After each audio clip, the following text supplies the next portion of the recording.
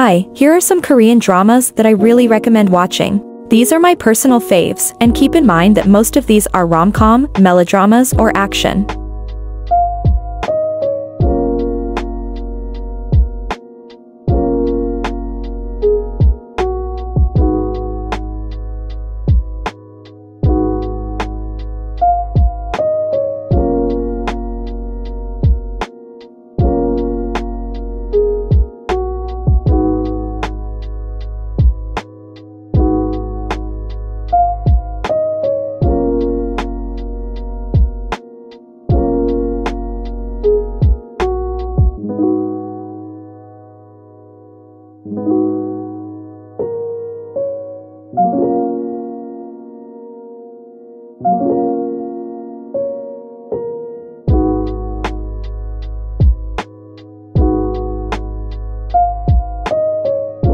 That's all for this video. There are still so much more K-dramas that I love and would really recommend so comment down below for a part 2. Also I'm not switching contents or anything, since this video is a bit different from my usual content, but I just wanted to try something new and posted something I would enjoy watching. Anyways, thank you so much for watching and make sure to subscribe.